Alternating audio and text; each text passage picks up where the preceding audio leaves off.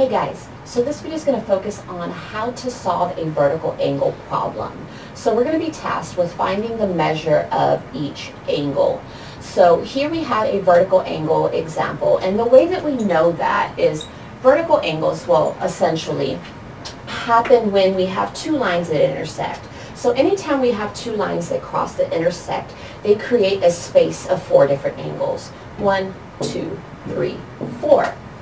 And vertical angles are the angles that are opposite each other. So for example, here the 2x plus 48 is a vertical angle with 5x plus 9.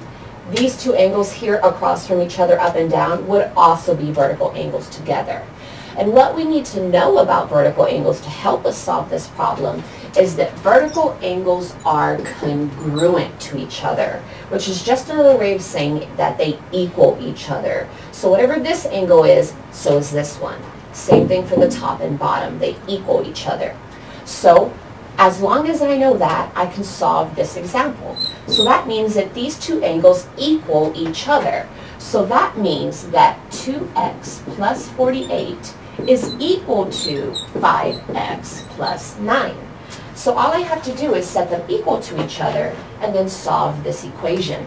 So solving this equation, I'm going to move my x values to the right-hand side. So I'm going to subtract 2x from each side. That'll cancel on the left-hand side, and I drop down the 48. That's going to equal to 5x minus 2x is 3x, and drop down the plus 9.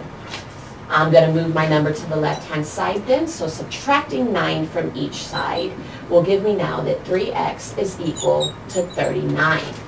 The only thing left to do to wrap up this portion of the problem is to divide both sides by the coefficient, and I get that x is equal to 13. Now we got to keep in mind 13 is not the solution to this problem here. We've got to remember that we're solving for the angle, and the angle is not x. The angle is either 2x plus 48 or 5x plus 9.